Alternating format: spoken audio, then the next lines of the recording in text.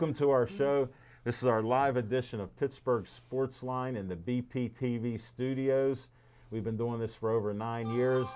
Tonight, I got to announce that we're on HD TV for the first time. They have a new program and system here, so there could be some glitches or there could be some issues that Smoking Jim's going to bring up because he focuses on things that are in trouble. and we'll share that later in the show. I'm Al Levine, the talking machine. I got Smoking Jim Frazier here, Chip Hayner, and Nick Callis here, the rookie from Waynesburg U, looking for a broadcasting career. So anybody interested in broadcasters, contact us here. If you know my number, call me. If you know my email, send it and I'll forward it to Nick. And we have a lot of sports to talk with you. We got Comcast 7 you're watching us on only in Bethel Park, Verizon 32 in Bethel Park, and all the way from Nemacolin to Cranberry, Wexford, and all points in between. Thank you for the Facebook likes. I checked today before I come in 6,907, so we got it back up again. I appreciate that. Some people randomly started liking us again and like some of the stuff we've been posting up there. So, especially Chip, I got some good response about Roberto Clemente's inside the park grand slam home run wow. where he ran through the third base coach's sign like Smoking Jim used to do because he never look at the signs. Interestingly enough, we're going to talk about that tonight. Wow, I had a psychic little thought mm-hmm. on that. Was the Thank sign you. in English? No, mm. Spanish. Because he's Puerto oh, Rican. Gosh. Thank you, Smoking Jim. I'm going to clear that up for my dear friend Jim this evening so that there is no misconceptions. Uh, there always will be with him. I'll just share that. He just cannot help oh, himself. Well, thank you for watching. We're going to entertain you. We got some promos to put up here. First up, Olive Oil's Pizzeria. Is that, I don't know if it's lined up. Anthony, you have to coordinate with us if we're lined up. Oh yeah, that looks good. I can't hear what he said. He said it's good. Okay. Olive Oil's Pizzeria. I found out Frank Fanera still owns the place. I didn't see him. I told you that last week. So we'll see about when we can have pizzas and hoagies here for you guys, because that way you won't have to go to McDonald's ever again. I hope. Okay. Just sharing that with you. Call them 412 831 1900. They're right in the middle of Hillcrest Shopping Center. Great Italian food salads, and everything else. Look, my shirt changed color, Smoking Jim. hey! Anthony, way to go. This is live HD TV. So check them out there and tell them Uncle Al, the talking machine, sent you. Next up, we end each show to honor Joey Fabus with Stay Joey Strong. He died when he was nine years old due to a brain cancer called DIPG just before his 10th birthday, and that's seven years ago. His family started the Joey Fabus Childhood Cancer Foundation and have raised over $100,000. Dave Fabus just sent a picture. When I did get my COVID shot, I posted it, and I'm following doctor's orders, and so far I feel no pain and feel good. But Dave Fabus put out that thanks for wearing the Joey Fabus soldier shirt, because I wore that during my shot and he hopes to have the 5K one mile run this year. So we'll see what happens in September. So I won't give you any advice except take the COVID shot and stay alive. Next up, Bethel Park Historical Society, Schoolhouse Art and History Center. Look at that. We got it centered. Anthony's doing cameras, audio, control room. And what Smoking Jim say is keeping every hair in place. and that's at 2600 South Park Road. Uh, it's a great 1905 schoolhouse. It's been refurbished. Uh, they rent it out even. They have my favorite tea place, which is Reginald's Coffee. They have fresh roasted tea from around the world. They're open. The other day I drove by, I almost stopped, but I only drink three cups a day and I had two, so I didn't want to waste one there but they have chairs out there to sit between, I think, 7 and 2. So stop on by, tell them Al Levine, the talking machine, said stop in for your coffee or tea. Next up, 501c3, Bethel Park Community Foundation has money for you from 100 to $5,000 for your group and organization. All you got to do is get an app at bpcf.org. So check it out. If you have a group doing great things in Bethel, guess what? We've given out a million dollars in 25 years, and we plan on giving more every year. So stick around. I'm a trustee on the board. Get your app and be out there. Next up, Dave Cable likes to have a little fun at my expense. We'll see what Anthony does on this one. He did it again, folks. Look at that. I want you for BPTV. Tell tell them Uncle Al Levine, the talking machine, wants you. 412-831-3304. Tell Dave Cable. Al said you can be here. Nick's in front of the camera. Anthony's behind the camera, the audio, the control room. And uh, Connor's off this week. He has soccer practice, so we gave him a little see you next week.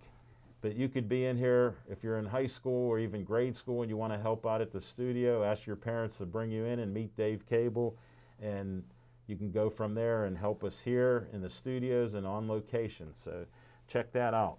All right, Skeet Service Station. Uh, we tried enough. Live TV, Skeet Service Station, 6103 Route 88, right in Finleyville, six miles from here. They work on anything and everything that runs on gas. So give them a call at 724 348 4715. That's Skeets Lewandowski of Skeets Service Station, red, white, and blue station, past Trax Farm, past the Dairy Queen, then they're right around the corner. So check it out. And he sponsors What's on Your Mind and Smoking Jim Frazier. What's on your mind? Thanks, Al Levine, the talking machine. And if you want the green, you got to see Levine. hey, I, I tell you what, Al Levine, the talking machine, how in the world, I tell you what, I'm rolling good. Tell me, Nick, how in the world I thought he was does talking me. Oral Roberts beat Florida? I put everything. Because you I bet on him. Hold on, is that Hold it, I got the answer. is that March Madness? Yes. Yes. I told you I don't watch He March don't watch Madness. it. I don't You're care. talking- No. You're talking to the wrong but you guy. got the common sense. There's no way Oral Roberts can beat Florida. I don't They know. could I, beat Ohio State. Florida was a walk in the park. Yeah. Where's your common sense? Yeah, that's true too. But Nice, that was an upset. You don't get two upsets in a row. Watch out for number three, Who they play? well, here, Arkansas. But I come back a little bit. I lost a lot of What money. did I tell you? But I come back a little You bit with Florida with Florida State at Al Levine, the Yes. talking machine. No, I had it. Chip, I got a tip. I got a tip for you. What was Chip. her name? I tell you what, Chip. I know that you didn't fill out your brackets this year. That's correct. Because of COVID, so you were wrong there, like you were wrong with the uh, NFL. Here's a chance to get right, Chip. How about loaning me $250 and next week I'll give you 255 back? Where can you get $5 interest in one week? My, my friend, I just want to like share something with you. I may have been born at night, but not last night. I'm good for it. I'm good. Anybody want to make $5? I can think of ten different ways to make five dollars that aren't that. Hold it. I got one. I got one question for you, Smoking Jim, and you won't answer it. Okay. You told me you bet 250 a day. Yes. Now, where do you get that money? Pardon me? Are you with the IRS? hey, listen, I just mailed a letter. Anthony can verify it. Does, Anthony, do they, come do in they here. pick the mail up here often? No. Because I'm a year behind on this. I, They I never just use found it. A letter. I just put it in the mailbox. I know where he's getting the money. Macaroni Tony. There you go. but here's my tip, and I'm gonna wind up with this. Okay. I tell you what, Gonzaga is going to win it all this year, and they're going to play Baylor, and that's the play on Saturday. Put everything you got on the Baylor Bears to beat Villanova on Saturday, and that's what's on my mind. March Madness. A disclaimer: If you don't bet, don't start. If you do bet, do the opposite of Smoking Jim, and you'll be a hero. He only won once out of 20 games. Oh, I've been hot. He won one game. Remember, I've got LSU. Remember LSU? One was game. Big. I, I, I rolled big with One LSU. game, then he and lost. I put it all on Florida. Yeah, and, and what does that teach you? Forget about Smoking Jim. Chip Painter, what's on your mind? Well, thank you, Alan, and uh, good evening, everybody. And uh, I don't know if uh, We look better or worse in high definition, but for what it's worth, huh? You look good. But um, you know, part of what's on my mind, the NCAA basketball tournament. One of the big reasons why I always say that this is one of the greatest sporting events of any year, even in a COVID year, a, year of a pandemic. Look at the way college basketball has been. After the first two days of the tournament, everybody's bracket has been busted. Okay? I love it.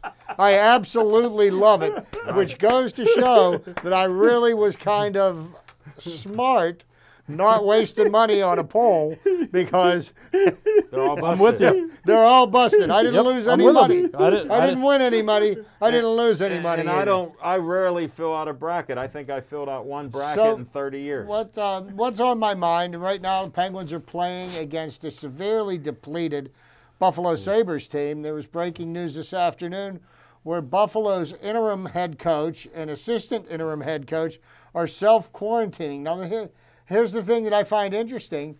Both these men were behind the bench last night Yes. uh, when the Penguins beat the uh, Buffalo Sabres, who have now lost 15 games in a row. Right. So now they have brought the general manager who was responsible for creating creating this train wreck Yeah. to coach the team tonight against the Pens, and um, I think the 16th loss in a row is is coming right up. But how is you know? Why are they self quarantining? Were they exposed to somebody? Were they tested positive?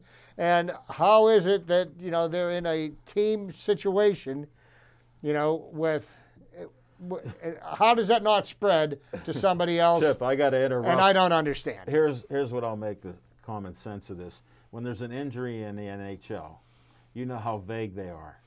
A guy gets crushed against the boards or something, and he has a lower body injury. A guy gets crushed like Malkin, an upper body thing, and he has a lower body injury.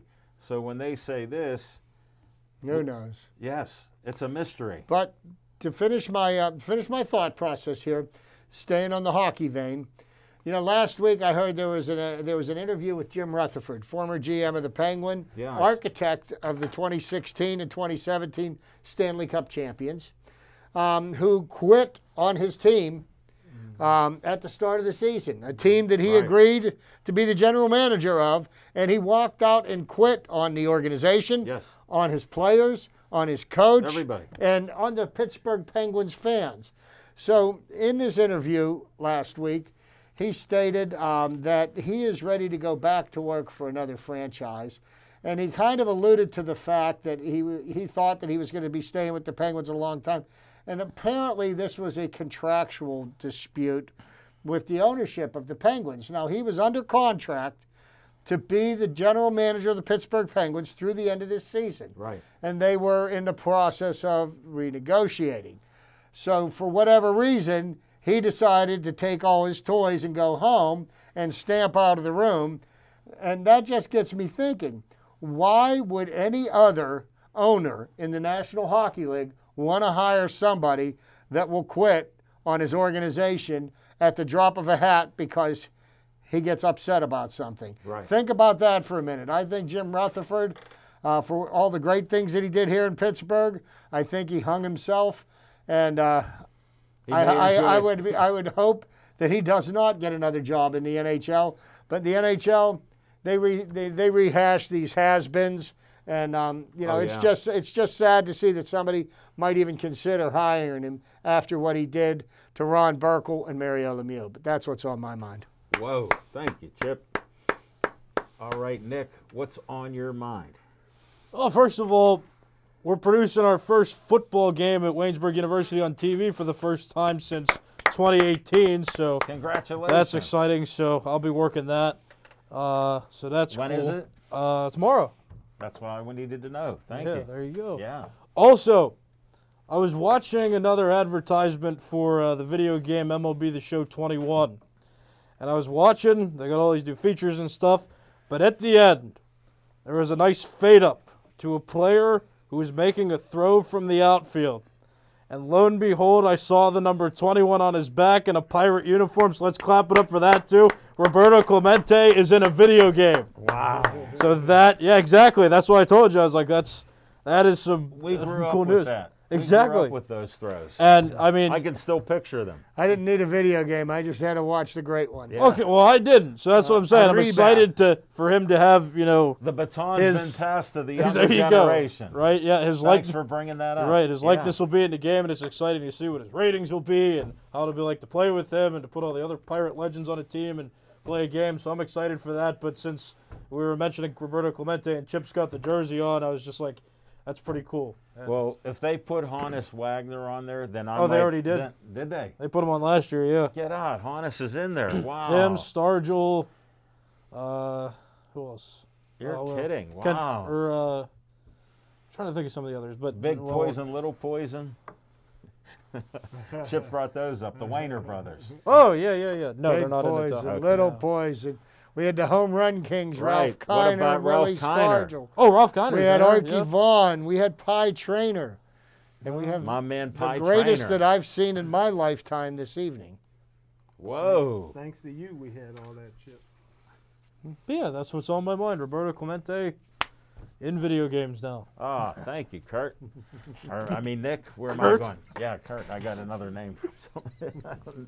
we appreciate that, Nick. What's on my mind? Well, we've been scattered all over the block, and uh, I don't follow the Grapefruit League. It's traditional that I don't. But this year it piqued my interest because of all the negativity about the Pirates, especially from Smoking Jim Frazier, mm-hmm. who doesn't know who his catcher was, and he said he pitched. So if somebody out there in Gateway World can tell me when Smoking Jim played and who he played with, he doesn't know the coach, doesn't know who played where, said they were white guys. But other than that, so I started looking at watching a few of the games and the Buccos. I listened to a couple of the games. Lo and behold, they're 10, 12, and 1. And 12, 10, and 1. 12, 10, and 1. And they may win 13. Chip said they were up 3 nothing before we started the show. That's changed. Uh, we're in needed the- an update. We're in the top of the third, and the Baltimore Orioles are winning 6 to 3. Okay, Yikes. six three update. But here's my thing: in Pittsburgh, we're either front runners, or we're looking for gloom and doom like Smoking Jim. so if they tell you a team's bad, they're never going to win a game.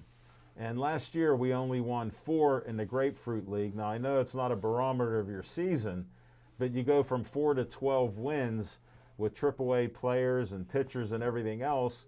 They show a little spark of playing good baseball, is what I see. Because Chip said they're second in runs in the league. It's 6 to 5 now.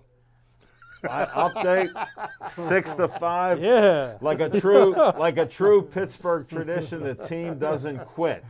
They keep coming back. Like, look what the Penguins have done this year and coming back in their home record. So I'm a little bit hopeful. I'm sure Chip will fill us in on some things like that.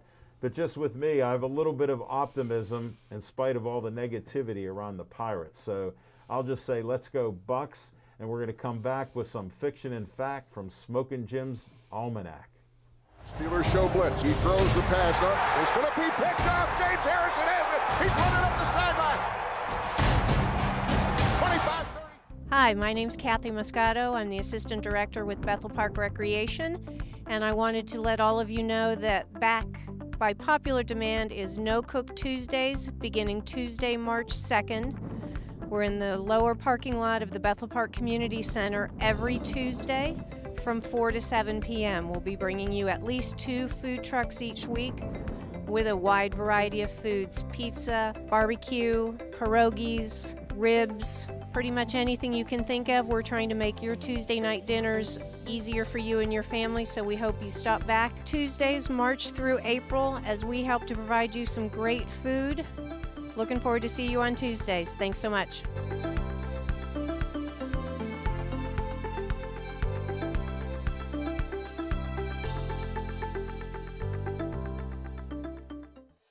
in a world of Nintendo games has grown popular over time.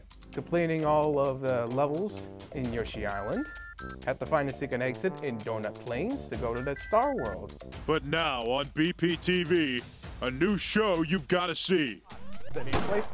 Oh, it came out at the time I was landing. One gamer, one winner, one fan, one man. He is Bethel Park Gaming. It's an all new game show to play around all Nintendo games he can find. And he is ready to beat one game in one episode.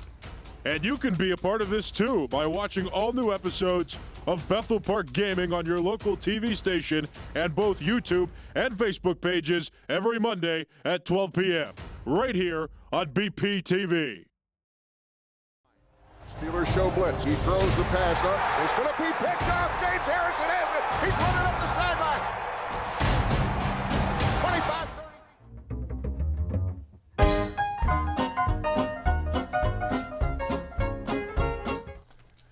Thanks, Al Levine, the talking machine, my main man, Chip Hayner. and I tell you what, I am so proud of the future, the voice, Nick. Waynesburg, the Yellow Jackets, is playing some football tomorrow. Spring football's alive and well, and we couldn't do it without my main man, Anthony. Never here out of place, doing his things on the ones and twos and making us look good. I tell you what, Chip, um, he he he triggered something um, in me last week, and I was thinking about it on the ride home. Whoa. I used to tell you, you my, weren't going home. You were going to New Ken. my dad. yeah, that's true for a meeting. My dad. Used What's her name? Ride his bicycle as a young man, and they would let him into Forbes Field after the seventh uh, inning for free, and they go see if Ralph Kiner was going to hit a home run. And Chip talked about that. He talked about Willie Stargell. At six years old, I rode my bike to Willie Stargell's house and got my baseball autograph. And here's third but not least, Al Levine, the talking machine. Um, the late, great, marvelous Marvin Hagler Yeah. grew up in Newark, New Jersey. Okay. And when the riots hit, Yeah. his family moved him to Boston. Right. Brockton. Guess who was there celebrating their birthday during the Newark riots? My grandmother lived in Newark, New Jersey. I'm a young kid. What's her name? Playing in the street. What was her n- She was grandmother's an name? evangelist. She passed away. What was her name though? And I tell you what, Al Levine, the talking grandma, her name was Grandma. And Al Levine, the talking machine, I'll never forget. I'm there, and we got so many kids over the house at Grandma's house, and it's my birthday week. All of a sudden, I'm sleeping in the living room, and I hear gunfire. So I, Grandma tells everybody to get on the floor. I was so sleepy, I slept through all the riots.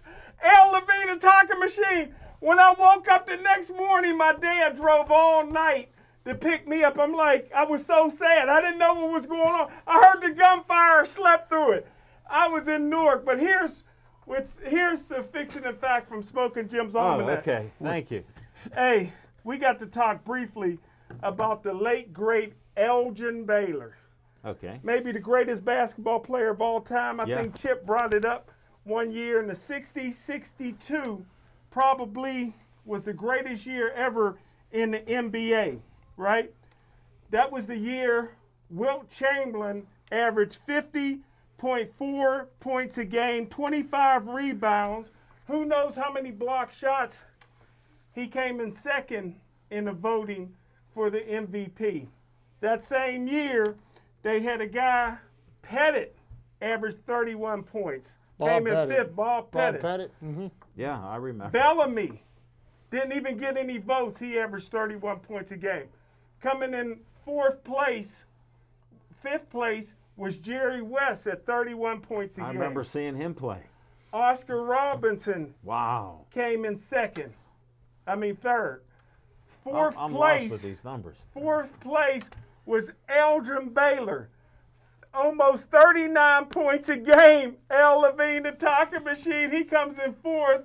In the winner, I don't know how we did it, but um, the um, Bill Russell won it that year. He only averaged about 18 or 19 points a game, but a ton of rebounds. But you know, here's the the thing. Here's here's what here because Bill Russell played on the most popular team in the NBA at the Eight in a time. row. That won.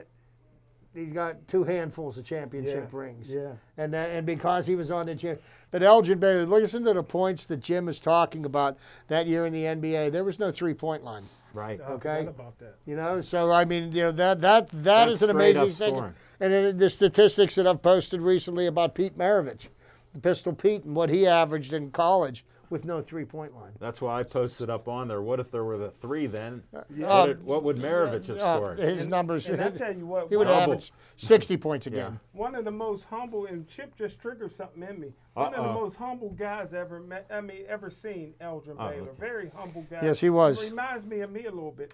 Maybe, maybe that's why I wore number 22, Al Levine, for Eldrin Baylor. But here's what a lot of people don't know. He grew up in comment. Washington, D.C., in an all black neighborhood. Yeah. Wasn't no segregation back then. He averaged 18 points a game in, in ninth grade, 25 points a game in 10th grade. Academically, he was struggling, so he dropped out of school and started working for a furniture place. Come back to school his senior year, averaged 40 points a game. Couldn't get no colleges. They was going to let him play football and basketball at the University of Idaho. He went there, he played basketball for the one year, averaged 31 points a game. Then they took him up to Seattle, where he he was the number one pick after his sophomore year, but he decided to stay in school and then was the number one pick. And they said the the Lakers was getting ready to go under financially. They was the Minneapolis Lakers Yeah. at the time. But when they got Eldrin Baylor, but it took him 50 years to get in this college um, Hall of Fame. I guess because uh, you got to graduate to get in that Hall of Fame. But You they know made the about exception. you know about that. they made an exception for Eldrin. But hey, he he did everything but won a championship. The Right. year he tore his Achilles and retired, they went on and won a championship, and he never won one with the Clippers. I don't think did he? No, he never Okay. won it. I wasn't sure. Just checking. Well, with your facts, I don't blame you double, triple checking, Smoking Jim. Are you done? yes, sir. Okay, we're gonna go. Thank you very much. We'll move on.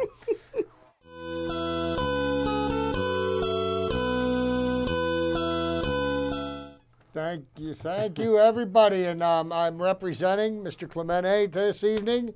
Thank you, Nick, for the story about uh, Roberto Clemente making it to a video game. But Yes. um, Roberto Enrique Clemente Walker uh, was a uh, was born August 18th, 1934. Died December 31st, 1972.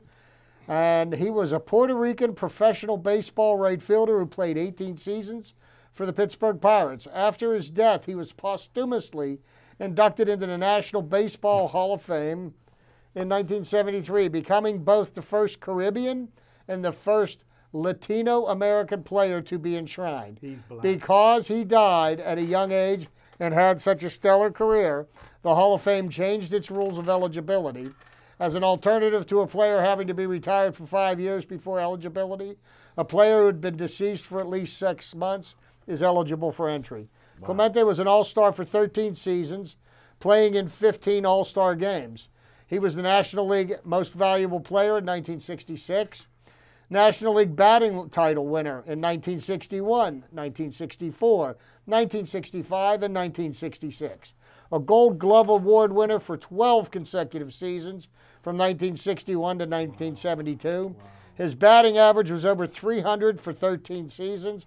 He had 3,000 hits during his major league career. He was a two time World Series champion. Clemente was the first player from the Caribbean and Latin America, in the informal sense, as Puerto Rico is affiliated with the United States, to win a World Series as a starting position player. 1960, to, he's the first player to receive a National League MVP award, 1966, and to receive a World Series MVP award in 1971. Um, the, so, um, the, the season following, the Pirates retired his uniform the season following his death, and Major League Baseball renamed its annual Commissioner's Award in his honor, now known as the Roberto Clemente Award. Um, it is given to the player who best exemplifies the game of baseball, sportsmanship, community involvement, and the individual's contribution to his team. Um, Roberto's career, career started in the minor leagues after signing with the Dodgers. Mm. February 19, 1954, Clemente moved to Montreal to play with the Royals. Affected early on by both climate and language differences, Clemente received assistance from bilingual teammates such as Chico Fernandez, pitchers Tommy Lasorda, and Joe Black. Joe Black was the original target of the Pittsburgh Pirates June 1st, 1954 a scouting trip to Richmond, conducted by pitching coach Clyde Sukeforth. The mission's focus quickly shifted when he witnessed Clemente's throwing and batting prowess in pregame drills. Nonetheless, Clemente barely played during Sukeforth's three-day visit, with his suspicions further aroused by manager Max Macon's dismissive remarks. You mean you want him? And the fact that Clemente took batting practice with the pitchers rather than his fellow position players? Uh, made inquiries and soon ascertained Clemente's status as an unprotected bonus baby. Uh, the manager had been instructed to use Clemente sparingly, acknowledged Macon almost 12 years later. We tried to sneak him through the draft, but it didn't work. As Sukeforth told the Pirates beat writer Les Biederman, I knew then he'd be our first draft choice. Before leaving Richmond, he recalled, I told Montreal manager to take care of our boy and see that he didn't get hurt. Nice. Um, his major league career, for all but the first six weeks of Roberto Clemente's career, he wore the number 21. After his death, the number was retired by the Pirates. For his first few weeks, Roberto Clemente wore the number 13, Wow. as his teammate Earl Smith was wearing number 21. It was later assigned to Clemente. Um, during the off seasons, except through uh, in the 58 59 uh, winter, 62, 63, 65 to 66, and so forth, Clemente played professionally for the Santurce Crabbers.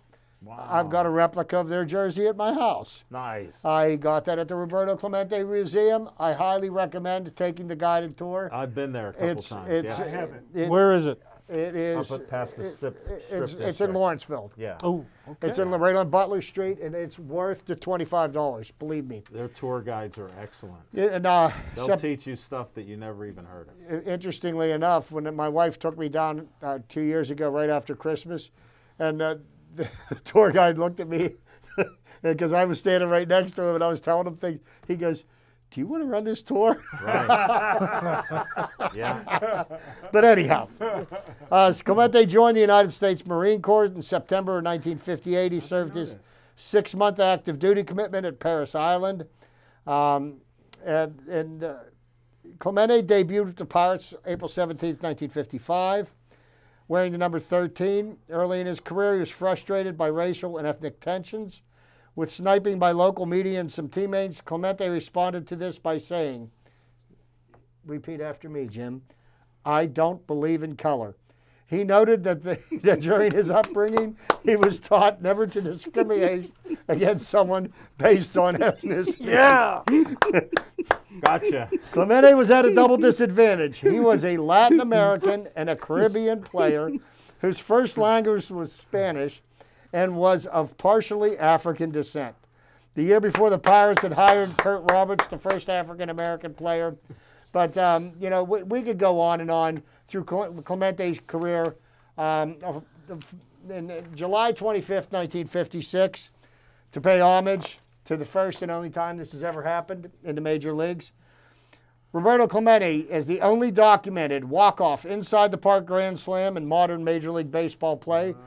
Um, it may have been done only once in the history of the game. So Roberto Clemente did hit an inside the park uh, grand slam home run, and yes, he did run through the stop sign at third base, but um, that just adds to his legacy. So um, Roberto Enrique Clemente Walker was the greatest pirate player that I have witnessed playing the game in my lifetime. So, Yeah. um, there. Now, last but not least, I got a little treat here for Nick. And I spoke several months ago about one of the greatest pirate announcers of all time, and that was the gunner, Bob Prince. yeah. And, and the gunner was was an institution when Al and I were young. I mean, the, the gunner and his and Oh, his euphemisms. There was the Hoover job, there was the green weenie, there was the bug loose on the rug, and he had his own euphemism. Well, Bob Prince handed down his um, his, his microphone duties to somebody that I would like to talk about. He's been a he's been a play-by-play announcer for 33 years, uh, for the Pittsburgh Pirates, the longest such tenure in team's history. In 2008, he was nominated for the Ford Frick Award, which is given by the Baseball Hall of Fame. As a radio broadcaster for the Pirates, Triple A Charleston Charlies, in 1974 and 75, this gentleman was mentored by Hall of Fame broadcaster Bob Prince, who invited him to Pittsburgh after the Charlies seasons concluded and allowed him to take over the microphone on occasion. He moved to Pittsburgh and joined the Pirates Major League Broadcasting crew on radio after Prince was fired. He started as Milo Hamilton's junior partner, calling just two innings of games and serving as Hamilton's color man. In August 2000, his role began to increase after Hamilton left following the 79 series. Uh, the Pirates gave him a new contract and uh, late in the 2006 that was to keep him on the air through 2009. In 2008, he announced his 5,000th game and he began sharing primary announcing duties with Greg Brown. So you can see the legacy of Pirate announcers went from Bob Prince to Mr. Lanny Frattare to Greg Brown and Yeah. is being carried on even even now as, we, speak. Yeah. Um, the reason I bring this up is our young friend Nick considers uh, Professor Frattare as his mentor at No, no. University. Not Professor Frattare. We call him Lanny. He made that okay, point. well, you know what? You, He's like, you I'm know not him- Mr. Frattare. I'm you know him, I don't. Okay? Frattare was lead announcer on ESPN broadcasts of the February 25th, 1985 college basketball game between Indiana and Purdue, during which Indiana coach Bob Knight threw a chair across the court. A moment which is frequently replayed on television to this day. I've seen it.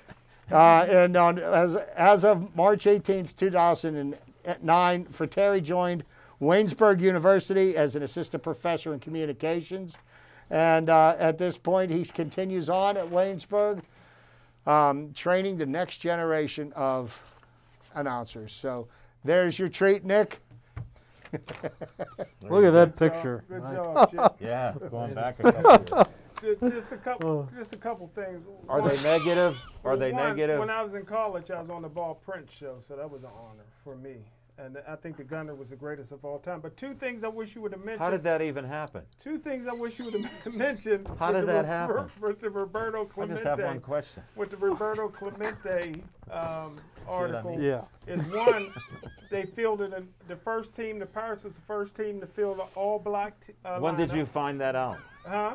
When did you find that out? Um, you said it. Okay. Well, you know what? I, The picture was on LSD. Well, you know what? I was going to pay homage to that on the 50th Yeah. anniversary of that in this September. Okay, pay homage to that. And another thing, I'm disappointed that Wikipedia didn't have in there that I was at Roberto Clemente's 3000s hit, and I'm very honored.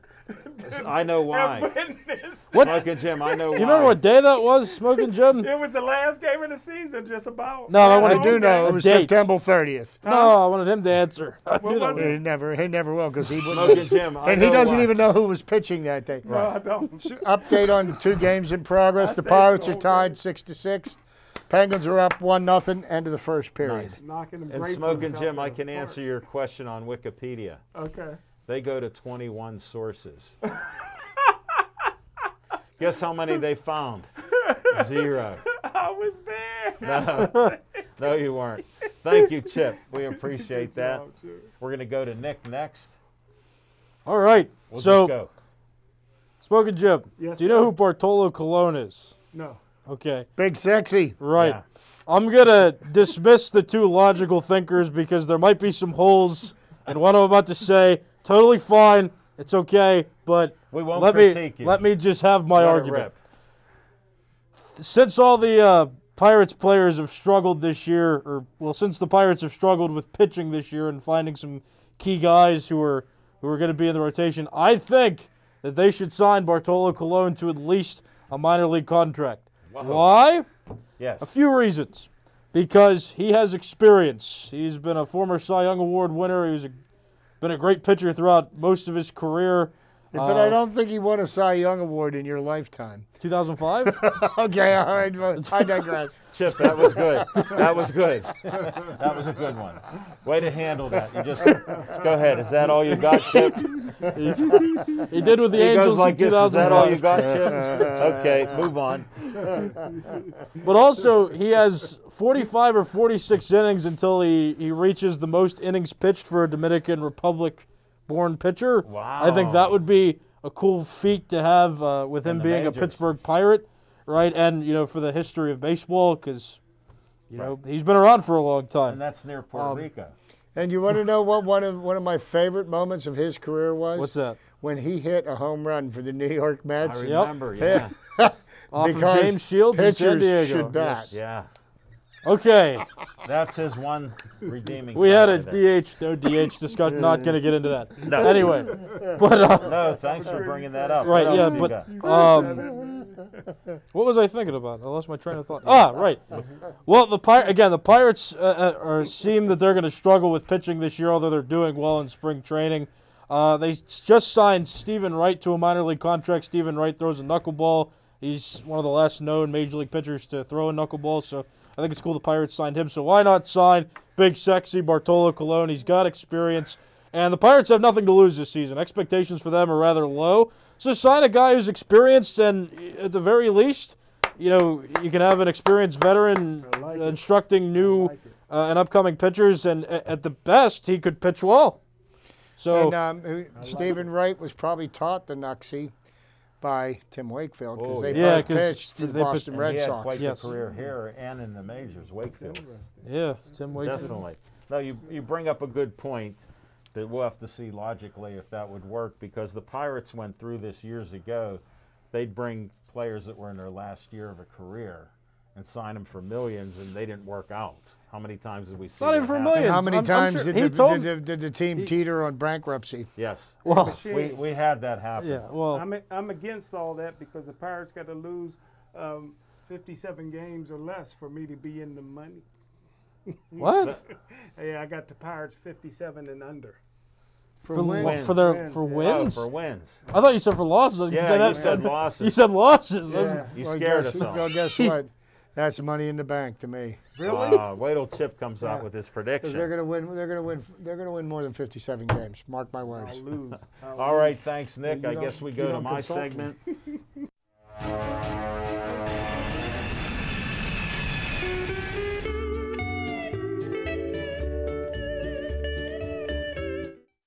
on location.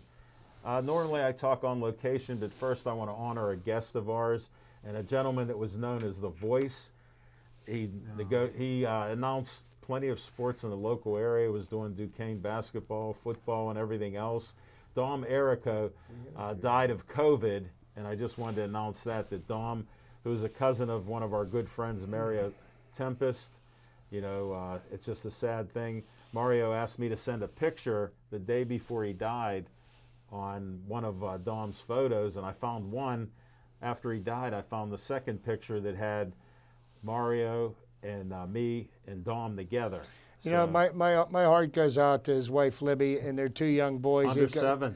He's got he's got one one young boy that's seven, one that's five. Yeah. And um, you know, he had finally got his dream job as an announcer. He was the voice of the Duquesne Dukes basketball team. Yes. And um, you know, And he announced other events and and, and he was just he was a super great person. Um, you know, he got he, he got sick. He spent two mi- two months fighting uh, the virus, and COVID. and it won. Yeah. And, and it won, and it was unfortunate. But my heart goes out to his wife and his family and to all of his loved ones. No, and that's why I wanted to share that because he was a great friend. He even offered to do voiceovers anytime for the show, but we don't do a lot of voiceovers, so I said, I'll put you on hold.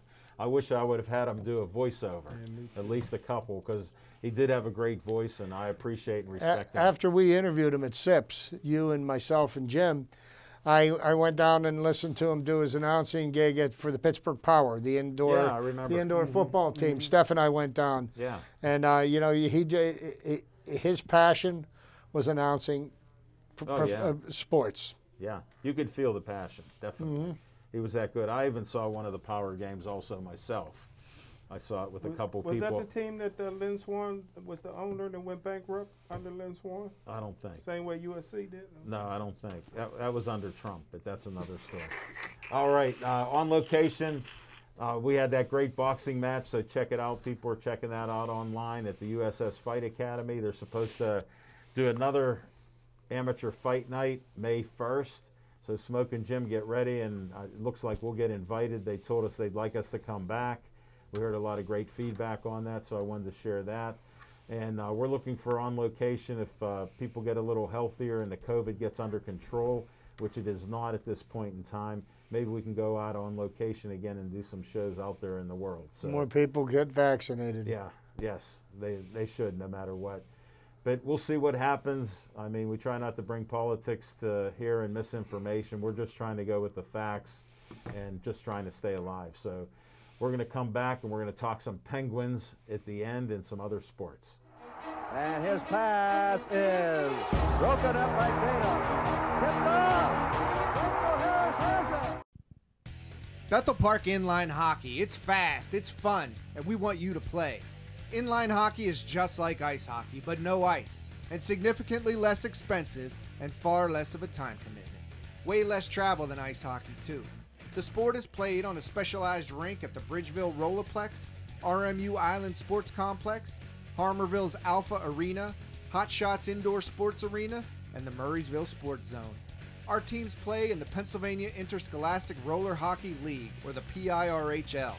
Each year, teams from elementary, middle, and high school play a 16 game schedule, plus playoffs, from October through March. Practice one evening a week and games on Saturdays or Sundays. The sport is recognized by the Bethel Park School District, which means student athletes can earn a letter once they reach high school. We play rivals such as Upper St. Clair, Peters Township, Canon Pine Richland, North Hills, and so many more. This is no pickup game. You'll need regulation pads, hockey skates, helmets, and the coolest Hawks uniforms around. Two refs at every game officiate three 15 minute periods with a running clock. No icing, no offsides, no checking. But this sport will rock you. Registration is coming up, so check out our website at www.bpinlinehockey.com and sign up soon. Let's play! And his pass is broken up by Tatum. Tipped off. Rachel Harris has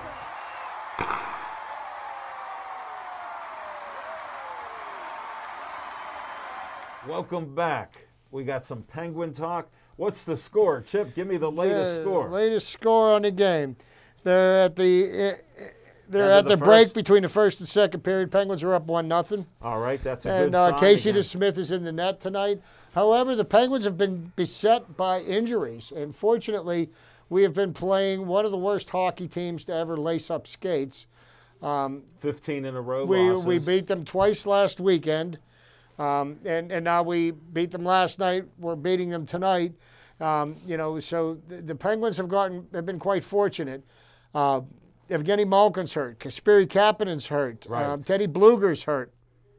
The Penguins have. I, I bet you I couldn't even name their second line center uh, tonight. Yeah. But um, you know, there, there's there's a lot of injuries, and and yet the Penguins are still playing tough. And I think the heart, heart and soul of the team right now is their duo of goaltenders. Casey DeSmith um, has been nothing short of stellar. Right. And uh, Tristan Jarry has proven that the Penguins made the right choice by trading Matt Murray away Look at what he's done since that first few in, weeks. in his last eight games. Yeah. Okay, they say that a goaltender, if he has a .92 save percentage, that that's that's like all-star caliber. oh. I didn't know that. And over the last nine games, Tristan Jarry's save percentage has been .94, which is like Vezina Trophy caliber. Right. Now that hasn't been the whole year. He started off the year rough, but he's playing really well. And Casey DeSmith, who you know they played back-to-back games last night tonight, right. so they they they sit Jarry and Casey DeSmith. There's no there's no drop off. right. Okay, so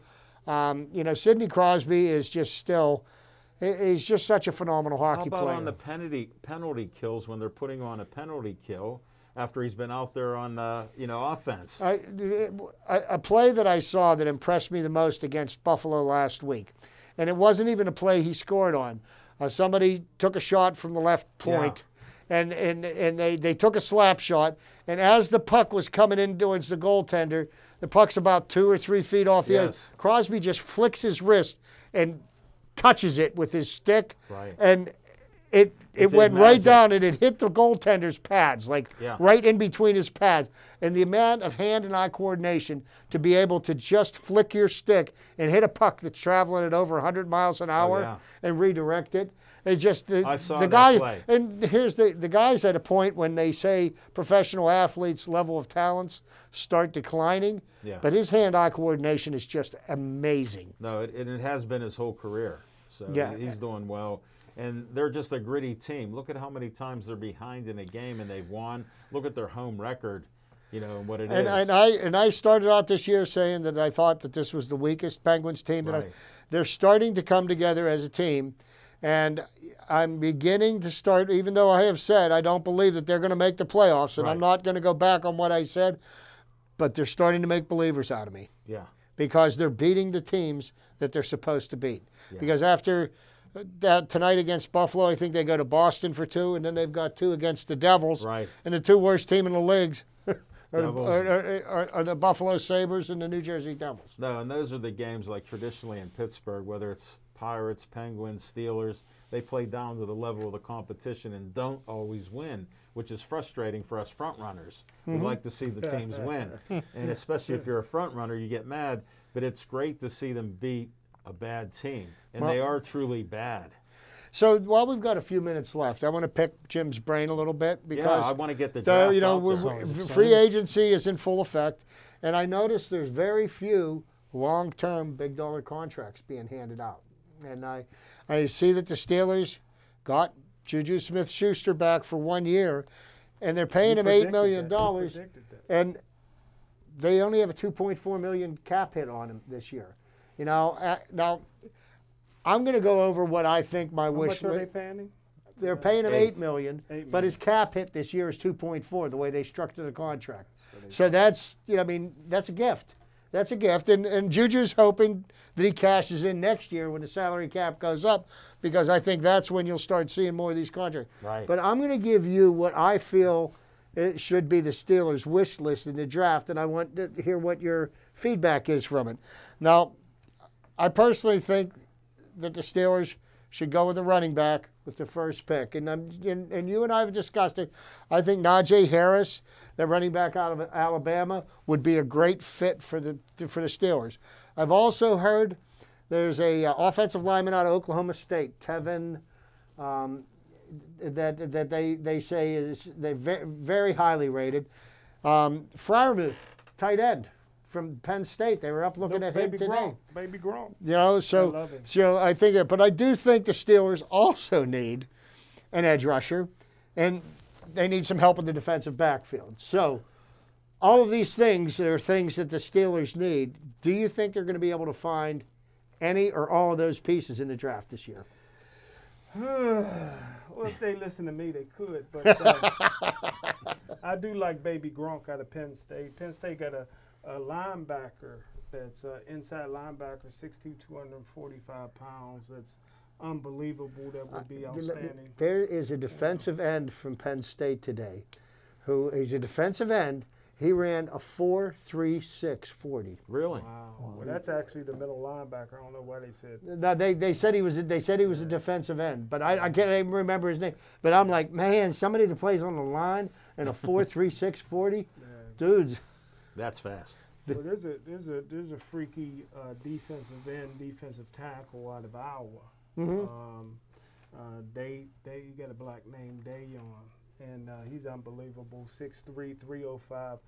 But the best offensive lineman on my board is a guard that would be available probably in the third or fourth round. He would be instantly the best offensive lineman the Steelers have, even better than Dotson. He's white. Um, he probably have to sit a year. Race car. Yeah, he'd probably have to sit a year behind. We need um, guys De now. Castro, but if you're if you're going for the future, he's the only six foot three offensive lineman ever seen slam dunk from the standing position since Steve Courson. Wow. He has a he, he's the hardest working guy I ever seen. Um, he played at a small Division three school. Um, his name is Quinn Minor, but I don't know why it's called Minor because He's how major. pro- Yeah, he major, but he, it, it's a Z. It's a Z at the end of his name, but he goes by Minor. So Quinn Minor. Well, sometimes letters are silent. Yeah, who should be there? I like Baby Gronk. Um, to, to What take about a running back? What's your choice there? Well, I would take. I, I, I, I like Najee Harris, like uh, Chip said. Yeah. But I also like the African from Clemson.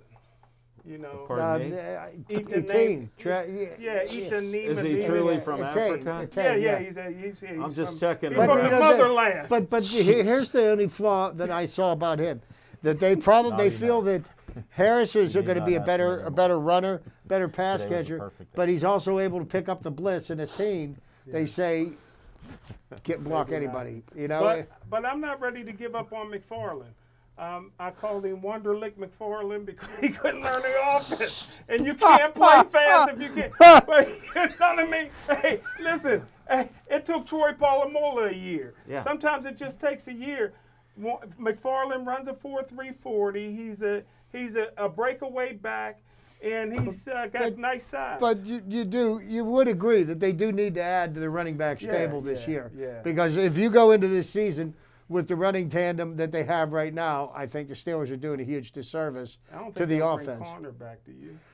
You know, if, if they did bring him back, dollars, it- you know, For a at- million. at the right price, because James Conner, he's in the same position. Who's going to sign him for a lot of money because he spends too much time in the training tub? He's and brutal. then again, like I said, I wouldn't have brought Juju back for any price because he's a bad influence on Chase Claypool. And you see, right after they signed Juju, Chase gets in a in a fight out in uh, California. It's a result of Juju's bad Smoking influence. Jim, I got a question with a minute to go. with the Castro, is he was he injured or will he heal up or what's the story with him?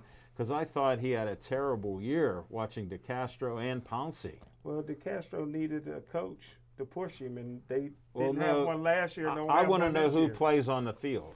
Pardon me? Who plays on the the field? coach is a No, no, who plays on the, field. the field? coach gets them ready. I have a simple question. I don't know why we can't answer. Well, you know, and, and let's take into account that DeCastro has been in the trenches how many years now? yeah. I mean, attrition. Nobody beats Father Time. No, Father I, I, Time's I'm with under. that program. I just wanted to know something honestly, but Smoking Jim can't answer who plays the game, and I'm still trying to figure it out. My dad always said you need the horses. So when the we- horses are injured, they don't play. We've got another month before the draft.